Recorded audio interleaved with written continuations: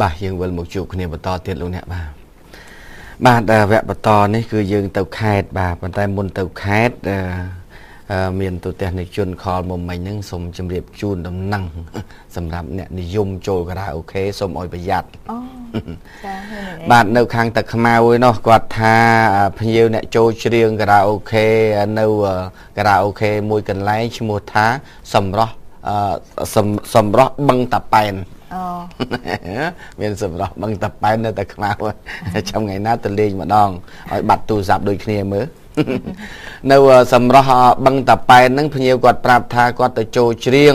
បាទកំសាន្តលេងដល់ពេលចូលច្រៀងយកស្រីស្រីទៅអង្គុយចិត្តឯលូកលិចលូកលូកកើតទៅបាត់ទូរស័ព្ទបាត់ទៅបាទយកទូរស័ព្ទបាត់ទៅបាទអញ្ចឹងគាត់ថាអត់គាត់ថា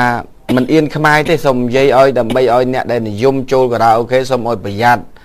ពីព្រោះមើលកប៉ៅសងខាងណាកុំណែចិត្តតាគៀកក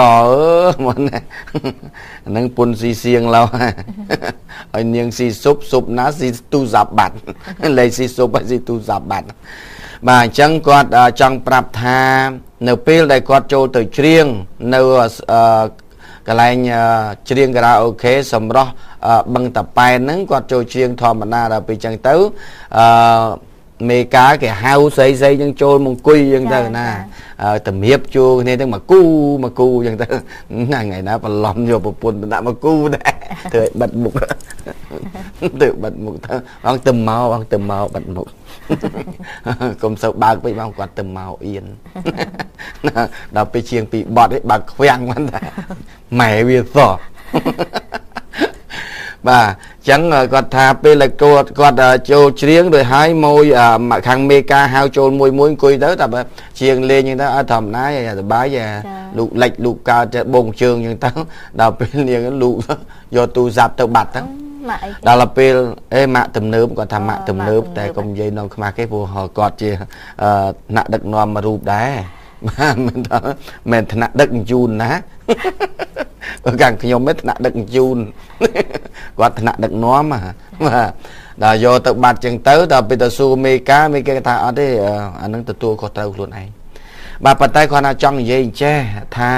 ធម្មតាកន្លែងការ៉ាអូខេមួយមួយចំនួនមួយនីមួយមួយគឺតែងតែ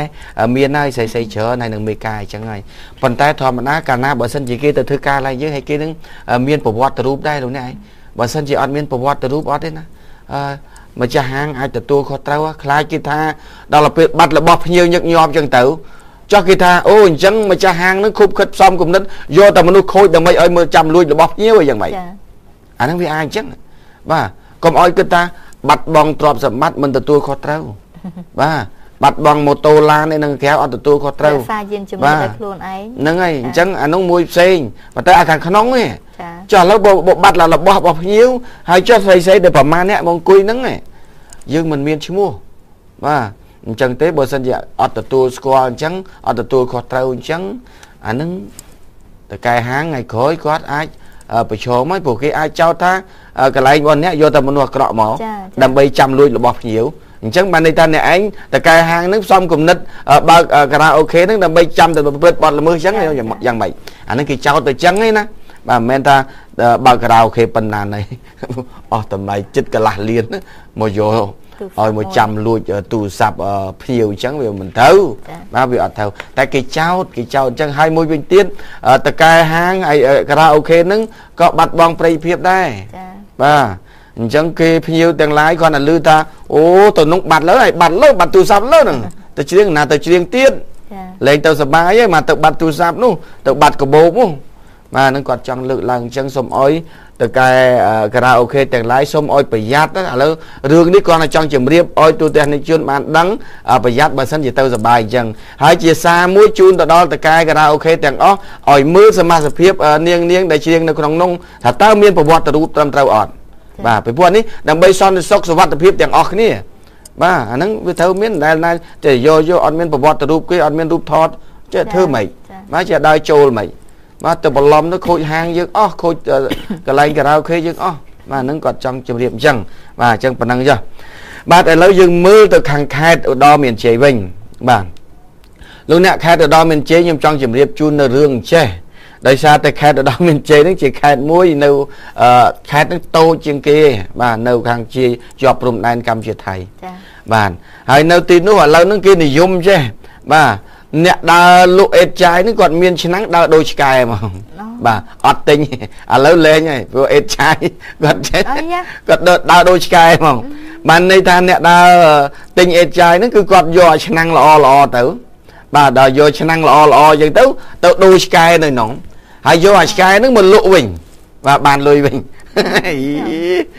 បាទជាក់ស្ដែងថ្មីថ្មីនេះនៅខេត្តឧត្តរមានជ័យមានក្រុមអ្នកទិញអេតចាយបានបន្ថែមមុខរបរថ្មីមួយទៀត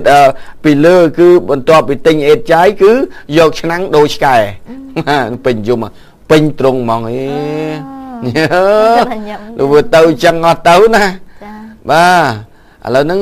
មានមុខរបរមិនត្រឹមតែទិញអេតចាយគឺ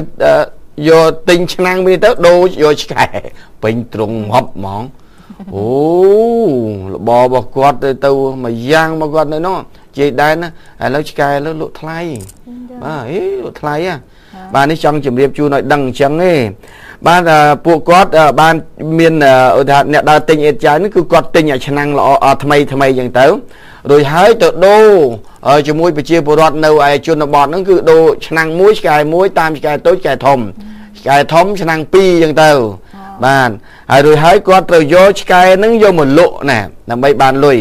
ហើយដល់ពេលឆ្កែលក់បានលុយឆ្កែខ្លះតម្លៃវាមាន1គីឡូ5000បាទវាមានខ្លះទៀតទៅមានហុងស៊ុយទៅលេខ1គីឡូ8000បាទលក់ឆ្កែណាដើម្បីរួចថ្លៃឆ្នាំងវិញបាទអញ្ចឹងគាត់យកឆ្នាំងឥឡូវលេខដើររើសអេតចាយយកឆ្នាំងទៅដូរឆ្កែយកឆ្កែមកលក់យកលុយណែអានេះមុខរបរគាត់ប្លែកដែរនៅខាងប្រទេសខាងកដោមានជ័យ ហើយប្រជាពលរដ្ឋនៅទីនោះថាឥឡូវហ្នឹងមុខរបរអ្នកដើរទិញអេតចាយគឺអឺគឺរបរគាត់ពេញនិយមរឿងយកឆ្នាំងដូរឆ្កែនៅទីនោះគឺពេញនិយមឥឡូវបាទហើយប្រជាពលរដ្ឋគាត់នៅទីនោះគាត់ចិញ្ចឹមឆ្កែដេញសัตว์ដេញអីហ្នឹងណាប៉ុន្តែដោយសារតែគាត់ខ្វះឆ្នាំងខ្វះចានគាត់អត់មានលុយបាទដល់ពេលអញ្ចឹងគាត់ដូរឆ្កែទៅបាទយកយកឆ្កែដូរជាឆ្នាំងអញ្ចឹងទៅបាទខ្ញុំធ្លាប់តានៅអឺ សុកកំណើតនៅខាងកំពង់ស្ពឺកំពង់ឆ្នាំងបាទគឺដូរឆ្នាំងអញ្ចឹងទៅដូរឆ្កែមួយអញ្ចឹងទៅបាទជួនកាលអត់នេះដូរមន់បាទវាមានអញ្ចឹងព្រោះពេលខ្លះគាត់អត់លុយបាទតែមិនសំខាន់រឿងអត់លុយតាមានអីងាប់ហើយមានខ្លាំងអីរឿងអត់លុយខ្លាំងអីជាងអត់បាទហ្នឹងហ្នឹងតែអត់ហ្នឹងវាវាអត់វាធម្មតាតែអាតលនោះយ៉ាប់ជាងអត់ណា បាទឥឡូវនេះបញ្ចប់រឿងនឹងមកមកមកវគ្គទៀតណាបាទរឿងដល់មានជ័យឥឡូវយើងមកក្លែងមកខាងខេត្តកំពង់ឆ្នាំងបាទខេត្តកំពង់ឆ្នាំងនេះវិញគឺរឿងទុកសោកបាទបរោះម្នាក់នឹងបានសម្រេចចងកសម្រាប់ខ្លួនភ្លាមភ្លាមនៅក្រោយប្រពន្ធនឹងបាទប៉ុន្តែមុននឹងពេលចងកនឹងគឺច្រៀងបត់មួយបត់គឺបត់ប្រពន្ធស៊ីសៀងបាទវាទៅចឹងទៅណាបាទកូននៅលហងនេះលោកយាយបាទម្ដាយគាត់ទេបាទ ហ្នឹងហើយម្ដាយម្ដាយគាត់បាទនេះគាត់បាននិយាយថាបើតាមការអាងពីប្រពន្ធរបស់គាត់គាត់ថាប្តីរបស់គាត់ហ្នឹងទៅមកពីភ្ជួរស្រែបាទទាំងអស់គ្នាហ្នឹងដល់ពេលមកពីភ្ជួរស្រែដល់ពេលមកសម្រាប់ដាំបាយដើម្បីហូបដើម្បីត្រឡប់ទៅស្រែវិញ បាទដល់ពេលនេះបលែងប្រពន្ធលេងហ្នឹងលេងលេចលេងកើតចឹងទៅក៏ច្រៀងបត់ប្រពន្ធស៊ីសៀងណាសីមនាងស៊ីស៊ុបដល់ពេលប្រលប់មិនដែលនៅផ្ទះបាទព្រោះបាយនៅផ្ទះវាមិនចេះឆ្ងាញ់បាយនៅផ្ទះវាអត់ឆ្ងាញ់ទេវាបាយបាយបាយដែលដែលចង់និយាយចឹងបាទអញ្ចឹងមុនពេលដែលគាត់ស្លាប់ទៅ គឺគាត់បានច្រៀងបទប្រពន្ធស៊ីសៀងសីមនាងស៊ីស៊ុបបាទ ជាងមួយបត់ប៉ុន្តែពេលនោះហេតុអីបានជាគាត់ជាងបត់ហ្នឹងគឺគាត់ស្រឡាញ់ពុនគាត់ពេកបាទដល់ពេលស្រឡាញ់ពេកចឹងទៅស្រាប់តែគាត់មិនទាន់បានហូបអីផងគាត់ក៏អឺមិត្តភ័ក្ដិនៅចិត្តផ្ទះហ្នឹងណាគេហៅទៅទៅហូបស្រានៅចិត្តផ្ទះហ្នឹងតិចបាទទៅហូបហ្នឹងហើយទៅហូបបន្តិចបាទដល់ពេលទៅហូបចឹងទៅហូបមិនស្វឹងអីទេគាត់ថាជួបជុំមួយមិត្តភ័ក្ដិប៉ុន្តែដល់ពេលប្រពន្ធណា គាត់ថាអេឯងនេះដូចអត់ចេះគិតអីទេស្រូវស្រែនោះមិនទាន់ហើយផងហេតុអីគាត់តែចេញពីទៅមកពីភ្ជួរមិញឥឡូវនេះគេហៅទៅផឹកទៅភ្លាមបាទអត់មានគិតទេអីរឿងស្រូវអឺស្ទូងមិនទាន់ហើយណាដកមិនទាន់ហើយបាទអញ្ចឹងឲ្យចប់ទៅគាត់បន្ទោសអីចឹងទៅបាទ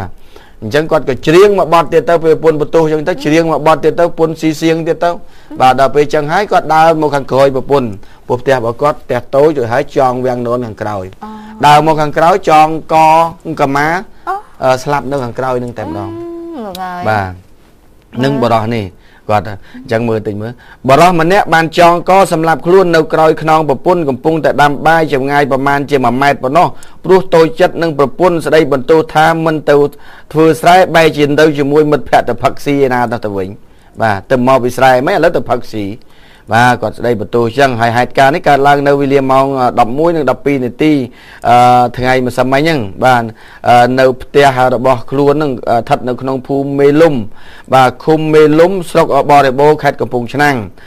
បាទបើតាមការអាងពីប្រពន្ធរបស់គាត់បាននិយាយថាប្រប្តីរបស់គាត់ឈ្មោះងាន់វឿនអាយុ31ឆ្នាំ បាទហើយគាត់មានកូនមានកូនចំនួន4នាក់ បាទដែលមានទីលំនៅនៅខាងលើហ្នឹងមុនពេលកើតហេតុបរោះហ្នឹងទើបត្រឡប់មកពីព្យួរស្រែចាំជាមួយទាំងប្រពន្ធកូនហ្នឹងមកបាទដល់ពេលត្រឡប់មកដល់ផ្ទះក៏បលែងលេងប្រពន្ធអីចឹងទៅធម្មតាអីចឹងទៅបាទសើចកខឹកចឹងទៅបាទប៉ុន្តែពេលនោះក៏ច្រៀងបត់មួយបត់ហ្នឹងគឺបត់ប្រពន្ធស៊ីសៀងឲ្យស្រីមនាងស៊ីស៊ុបបាទច្រៀងមួយបត់ចឹងទៅរួចហើយក៏លាប្រពន្ធថាមិត្តភ័ក្តិហៅចិត្តផ្ទះនេះទៅផឹកបន្តិចដល់ពេលចឹងទៅទៅបន្តិចមកវិញប្រពន្ធបន្ទោស បាទទោះរឿងទៅយើងធ្វើស្រែមិនទាន់ហើយទាំងអីហេតុអីបានជានេះយើងក្រីក្រផងប្រញាប់តែរឿងផឹកឯណាចឹងទៅអើជេរបន្តិចអីបដាសាអីចឹងទៅធ្វើឲ្យគាត់ខឹងដល់គាត់ខឹងគាត់ក៏មកលួងលោមប្រពន្ធម្ដងទៀតច្រៀងមកបត់ទៀតទៅឲ្យប្រពន្ធស៊ីសៀងអមនាងស៊ីស៊ុបដើរមកខាងក្រោយចងកកបាត់អូផ្លែចឹងណាបាទនឹងដោយសារប្រពន្ធស្ដីបន្ទោសបាទហើយនៅចាំឯសាលាកនមុនមាន យុវជនម្នាក់ចងកសម្រាប់ខ្លួនដែរនៅក្រុងបរសេនុចាំតាបាទមិនមុនពេលចងកសម្រាប់ទៅសរសេរទុកលិខិតមកច្បាប់ដាក់ថាបើខ្ញុំស្លាប់ទៅសូមពុកនឹងម៉ែចាក់មេក្រូកុំចាក់បត់ស្មូតបាទសូមចាក់បត់កំណាំងស្ទាយនឹងភ្លេងការកំណាំស្ទាយហើយនឹងភ្លេងការ នឹងនៅក្រុងសេនុកាលពីឆ្នាំមុនដល់ទៅពេលដល់ទៅពេលចាប់ដើមមែនលពុកម្ដាយធ្វើតាមបណ្ដាំកូនមែនបាទដល់ទៅពេលទុងទុងខ្មោចទុងទុងខ្មោចស្លាប់បាទដល់ទៅពេលចម្រៀងកំណាំស្ដាយនៅបត់ញាក់ឲ្យសបាប់ចាប់បាត់កំណាំស្ដាយបាត់ភ្លេងប្រពៃណីចាអានឹងគាត់នៅក្រុងបរសេនុមុនឥឡូវបាន2 ឯនោះកំណាំស្ទាយឆ្នាំមុនឥឡូវនេះបត់ប្រពន្ធស៊ីសៀងបត់ល្បីទៀតអើគេងាប់ទៅសិតតែយកបត់ល្បីទៅជាមួយអញ្ចឹងអើវាមានន័យពុនស៊ីសៀងសៃនាងស៊ីស៊ុបបាទឲ្យតែប្រលប់ខ្ញុំនេះមិនចេះនៅផ្ទះពោះពោះស៊ីតែមិនចូលពោះបាយឆ្នាំងចាស់អូយចេះជាងដែរ នេះចេះមិនបត់ចឹងចឹងវាត្រូវតែចេះបត់អីក៏ត្រូវតែចេះដែរតាមពិតទៅខ្ញុំចេះជាងជាង300បត់អូបាទចេះតែក្បាលក្បាលជើចេះឲ្យចប់កុំអោយកុំអោយមានអាជីពច្រើនពេកមើលចាំស្អែកទៅជាងកណ្ដៅគេឲ្យចេះហូច្រើនមកកុំអោយគេសួរមកបត់នេះចេះអត់បត់នោះចុះមើលខ្ញុំត្រូវតែចេះ បាទធ្វើជាធ្វើជាអ្នកសារព័ត៌មានត្រូវតែចេះត្រូវតែដឹងបាទអ្វីក៏ត្រូវដឹងដែរដឹងច្រើនឬតិចត្រូវតែដឹងបាទធ្វើជាប្រជាពលរដ្ឋក៏ត្រូវតែដឹងដែរដឹងព័ត៌មានបើដឹងព័ត៌មានពុទ្ធកាអីកើតឡើងមិនទៅបាទលោកបាទតាមពិតត្រូវតែដឹងក៏ទូទាំងជនពុងទស្សនាព័ត៌មានហ្នឹងដាច់ខាតត្រូវតែចង់ដឹងព័ត៌មានហ្នឹងកើតឡើងអីបើគ្រោះថ្នាក់ចរាចរណ៍យើងឃើញហើយយើងប្រយ័ត្នបាទ បើឃើញថាបត់ល្មើសចូលប្លន់ចោលហ្នឹងវាល្បិចវាប្លន់វាអាម៉េចវាមើលពីល្បិចគេហើយបើល្បិចវាលួចវាអាម៉េចតែកុំឲ្យយកអាល្បិចទៅជាប់គុកបាទល្បិចជាប់គុកគឺល្បិចយើងទៅប្រព្រឹត្តបទល្មើសហើយហ្នឹងបាទអញ្ចឹងកុំទៅយកអាហ្នឹងតោះទៅមួយរឿងទៀតចាឥឡូវចូលទៅគ្រោះថ្នាក់ចរាចរណ៍មួយរឿងទៀតដែលរថយន្តជនជាតិបរទេសចាម្នាក់ហ្នឹងគាត់បើកទៅបុក ចាអ្នកជិះម៉ូតូម្នាក់ដែលមានមាឌធំចាតម្ងន់រហូតដល់ជិតដល់ទៅជាង100គីឡូក្រាមចាបណ្ដាលឲ្យគាត់នឹងរងរបួសធ្ងន់ធ្ងរបរិម្នាក់នឹងមាឌធំក្រអាងតម្ងន់ប្រមាណជាង100គីឡូក្រាមរងរបួសធ្ងន់គណៈដែលរថយន្តបត់ឆ្វេងបួងចង្កូតលឿនទៅបុកម៉ូតូដែលកំពុងតែជិះលឿនដូចគ្នាបណ្ដាលឲ្យផ្លោងអ្នកជិះម៉ូតូដួសបោកក្បាលសន្លប់គ្រោះថ្នាក់នេះបានកើតឡើងនៅម៉ោង1រំលងអត្រាជិនចូលថ្ងៃទី16សីហា នៅចំណុចផ្លូវលេខ242កែមហាវិថីព្រះនរោត្តមសង្កាត់ចាក់ទៅមុខខណ្ឌដូនពេញសាស្ត្រីឃើញហេតុការណ៍នោះបានដឹងថារជនម៉ាក់រេងរវែចាពណ៌ខ្មៅពាក់ស្លាកលេខភ្នំពេញចា 2U 7327ជាគ្នាពីរនាក់មានស្រីមានប្រុសចាជាជនជាតិបរទេស គឺបើកបរតាមផ្លូវលេខ242ពីលេខតកើតចំណែកឯម៉ូតូ Viva ស៊េរី2000 6ពណ៌ខ្មៅពាក់ហ្វ្លាឡេភ្នំពេញ1 A7039 បាក់បោះដោយបរោះម្នាក់មានធំទម្ងន់ជាង100គីឡូក្រាមតាមមហាវិថីព្រះនរោត្តមពីជើងទៅត្បូងខណៈដែលមកដល់ចំណុចផ្លូវកែរថយន្ត4ចង្កូតបត់ឆ្វេងលឿនពេកគប់ជួននឹងម៉ូតូជិះលឿនគួរសមដែរនោះទើបបណ្ដាលឲ្យរថយន្តបុកម៉ូតូចំពីមុខពេញទំហឹងធ្វើឲ្យអ្នកជិះម៉ូតូនឹងផ្លោងដួលបោកក្បាលសន្លប់ឈឹងរងរបួសធ្ងន់តែម្ដង។ ចាឲ្យក្រោយពេលដែលកាត់ឲ្យអ្នករងរបួសធ្ងន់ដែលមានមៀតធំនេះចាពេលដែលសំបីតែក្រុមសង្គ្រោះមានគ្នាពីអ្នកផ្សែងមិនចង់រួចទេតតែប្រជាពលរដ្ឋនាំគ្នាជួយផ្សែងដាក់លើរថយន្តសង្គ្រោះយកទៅព្យាបាលនៅឯ clinic គឹមអ៊ីហ្វុងចាស់ទើបរួច ចំណែកម៉ូតូខូចខាតមួយកំណាត់ខាងមុខរីឯរថយន្តជ្រុះកាងមុខត្រូវសមត្ថកិច្ចវោវែយកទៅដោះស្រាយនៅការិយាល័យនៅគោបាលចរាចរណ៍ផ្លូវគោកឃើញពូខាងម្ចាស់រថយន្តនោះក៏គាត់នៅក្នុងរថយន្តរបស់គាត់ឡើយទេចុះជែកមួយគេទៅពោះដោះស្រាយទៅធ្វើម៉េចទេព្រោះគ្រោះថ្នាក់អញ្ចឹងទៅហើយបាទហើយគាត់នេះក៏គ្រោះថ្នាក់ធ្ងន់ដែរមិញជនបរទេសមិញដូចបែកក្បាលថាឈាមជាប់ថ្នល់ជាតិហើយឡានគាត់នោះក៏ខូចទៅ ធូនធ្ងរដែរហ្នឹងណាចាបាទធ្វើម៉េចបើវាគ្រោះថ្នាក់អញ្ចឹងទៅហើយអញ្ចឹងយើងដោះស្រាយបញ្ចប់បញ្ហាទៅមើលទៅបាទលើកអត់រួចបើលើកចុះប្រហែល100គីឡូជាងជាង100គីឡូជាង100គីឡូងាប់ក្បាលខ្លាំងដែរហ្នឹងលើកលើកលើកអស់លើក3នាក់បងលើក3នាក់3នាក់បាទ3នាក់អូ4 4បើថា3អត់រួច4បងរួច4បាទអូយងាប់បងបាទចា បាទទាំងយើងសូមបញ្ចប់តាមនឹងចុះបាទតែលើដល់ម៉ោងសម្រាប់ហើយសូមម៉ោងសម្រាប់ទីសិនសិលាព្រោះទៅទៀតតែពួកគាត់ទៅក្អកយ៉ាងនេះអេគាត់កោះរហូតហ្មងថ្ងៃនេះ